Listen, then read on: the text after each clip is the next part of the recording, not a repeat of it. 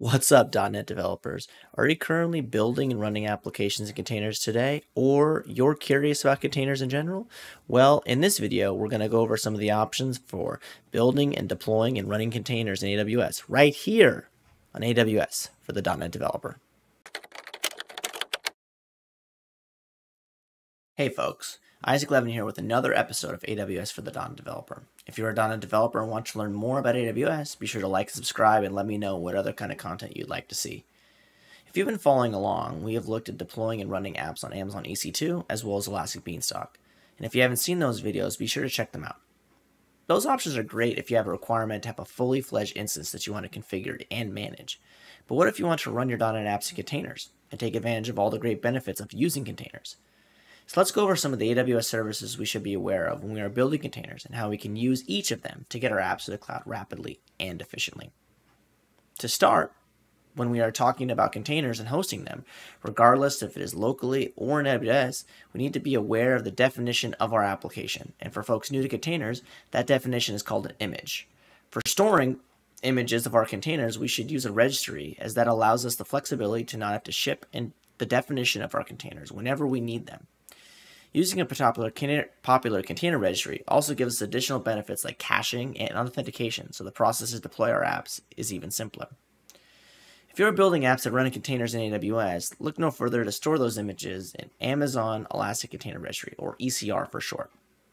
ECR comes with cross-region and cross-account replication, which makes it easier for us to have our, your images where you need them. ECR also comes with pull-through caching rules that provide a mechanism to cache repositories that may live in remote public registries, like Docker Hub, for instance. Doing this ensures you have the latest version of that image as close to your ECR instance as possible, which greatly reduces latency when we are pulling down those images to build our containers. The largest benefit to using ECR is its deep integration with other ECS services, such as Elastic Container Service and Elastic Kubernetes Service, which we will talk about later. Having this integration allows you to have all your container-related workloads all in one centralized management experience within the AWS console. I mentioned the ability to set up private registries that you can sync public repositories to, and with that brings a heightened level of security to ensure our images are never pulled down to locations we don't want. And taking that one step further, ECR also has built-in container image scanning, which can be helpful to identify and prevent potential vulnerabilities so you're aware of a dependency that might be compromised. This is exceptionally important to ensure your applications are as safe and secure as possible. Now let's talk a little bit about how we take those container images and define our application and turn them into apps running in the cloud. When we deploy containers to AWS, we have a few options to host those containers, depending on our needs and level of complexity of our apps. The first option folks should look into is Amazon Elastic Container Service, or ECS. ECS is a highly scalable container management service, and you can use it to run, stop, and configure your containers on a cluster. With ECS, your containers are defined in a task definition that you use to run an individual task or task within a service. When I say service, I mean referring to I'm referring to a configuration that you can use to run and maintain a specific number of tasks at the same time. ECS has a ton of great features available out of the box, but the most important one is the ability to auto scale depending on your load. If you need the ability to scale as your app gets higher, gets higher load, you can use an Amazon ECS autoscaling group capacity provider with the manage and scaling option turned on. What technically happens with autoscaling turned on is that ECS creates two custom CloudWatch metrics and a target tracking scaling policy that attaches to your autoscaling group. Amazon ECS then manages the scale in and scale out actions of the autoscaling group based on the load your tasks put on your cluster. ECS is also quite cost effective as containerizing applications requires smaller compute sizes than hosting applications in virtual machines. As mentioned earlier, you can host all forms of applications on ECS, from ad hoc tasks to enterprise scale solutions of any size. And how this is done is that ECS manages clusters of EC2 instances that have container orchestration tools running on them. ECS has access to these tools to enable to enable patching of the instances as well as scale up and scale down for you. So with that, how does ECS actually work? As mentioned before, Amazon ECS is a cluster of EC2 instances. When a task is instantiated, your task definition, which defines all the containers that form your application, is triggered. All required container images are pulled from a container registry, whether that be an ECR, Docker Hub, or somewhere else.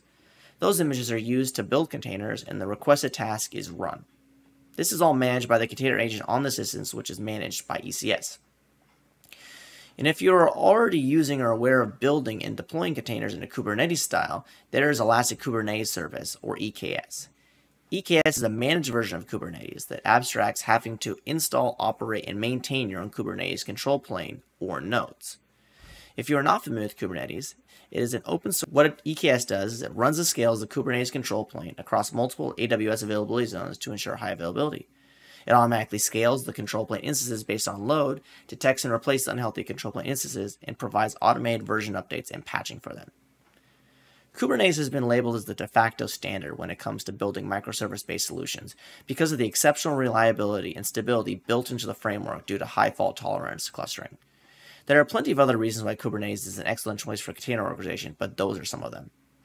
When choosing between EKS and ECS for container orchestration, the largest thing to consider is how you want your services such as networking or other components handled. ECS relies on AWS provided services like Application Load Balancer, Route 53, and others, while EKS handles all these mechanisms internally, as these are core components of Kubernetes. EKS also runs up-to-date versions of the open source Kubernetes software, so you can use all the existing plugins and toolings from the Kubernetes community.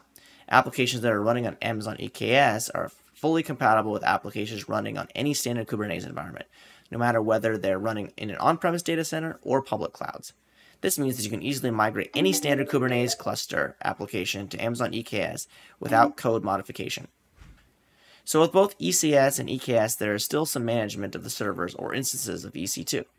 Not as much as owning the EC2 instances outright, but it isn't a completely turnkey approach. If you're looking for more set and forget and customize if you need it in the future, there's another offering for those services, and that is AWS Fargate. AWS Fargate is a technology that you can use with ECS and EKS to run your containers without having to manage them at all, so no provisioning, configuration, or scale required.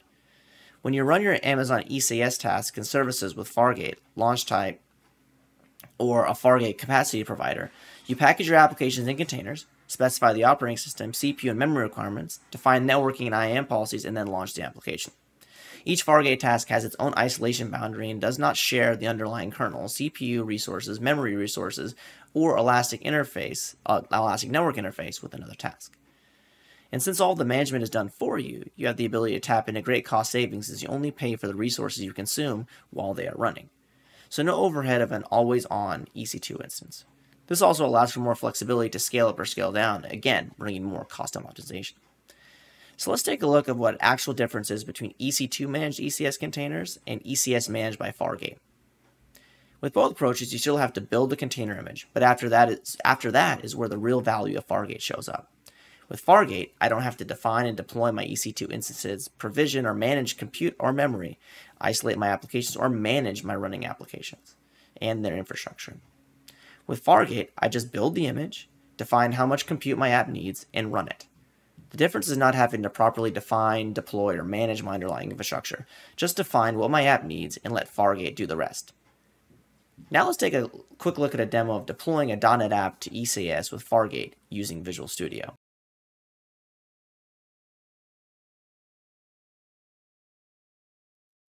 Alright, so here I am in Visual Studio 2022, and as you can see, I have um, just a very, very simple Razor page, .NET 6 Razor page application. So um, there's some CSHTML files, and um, I have program.cs, and, and, nothing really crazy. What I want to be able to do is I want to be able to deploy um, this .NET 6 application to ECS with Fargate. So I can go into Solution Explorer here and um, right-click on the project file or the project and I can zoom in here. So I have this publish to AWS button, right? So this means I have the uh, AWS toolkit for Visual Studio installed. So I choose publish to AWS and it's going to give me a handful of options. I can publish to an existing target or I can publish to a new target. And then it gives me a bunch of options as well. And the option that I, I care about in this particular case is this ASP.NET Core app to Amazon ECS using AWS Fargate. So I'm going to click on this and I can choose the, the default settings here, but I want to just go through so one of these settings are. So the first thing that you want to do when you create an ECS instance is you want to define the cluster. So let's give it a, a cluster name. So we can keep Fargate.net in this particular case just because it's straightforward. We can give it a service name. We can specify the desired compute. um, numbers as well as the particular CPU and resources that are left. So for in this case, it's a quarter of a virtual CPU and half a gigabyte of memory because we have a pretty low um, footprint application. The next thing you can do is you can specify the load balancer. So in the situation where you want to direct traffic um, to your ECS instance, for certain use cases, you can do that here. And you can specify, you know, a health check URL as well as different timeouts for that health check. And then the next step is auto scaling, which is setting um, basically if you want uh, Fargate to manage the scaling up and scaling down of your application. You can enable that there. I'm not going to do it in this particular sense. Um, in this, uh, if you look at a previous video, we talked about IAM. Um, AWS runs on a least privilege principle, so um, specifying the particular role that you want this credentials to run under. Um, we're just going to create a new role in this case. Uh, and then the next step is specifying a virtual private cloud, which is kind of like a virtual network. So let's just specify a new one in this particular case. I can add environmental variables if I want to, and then it specifies a Docker file path. So I didn't show you the Docker file, but let's take a look at it really quick. So in my solution, I have this Docker file. And inside of here, this is just a, a pretty simple one. Like I went through the um, Visual Studio wizard to create uh, a new ASP.NET Core application, and I check the box says enable Docker support, and it generates this lovely Docker file for us. Um, so if we go back here, um, we have everything that we need, and I can actually looks I can specify the ECR repository where I want these images sent to. I provide that, and then I just click publish. And then the next thing that it's going to want to do is it goes through and actually builds out that Docker can, Docker image for us, and then it deploys that Docker image to ECR, and then Fargate will take down that particular image from ECR and build an ECS instance. And this does take a little bit of time, so what we're going to go ahead and do is we're going to fast forward um, to a particular point in time when this is all done. All right, so now that we're done, let's actually take a look at what actually happened as a part of that deployment process.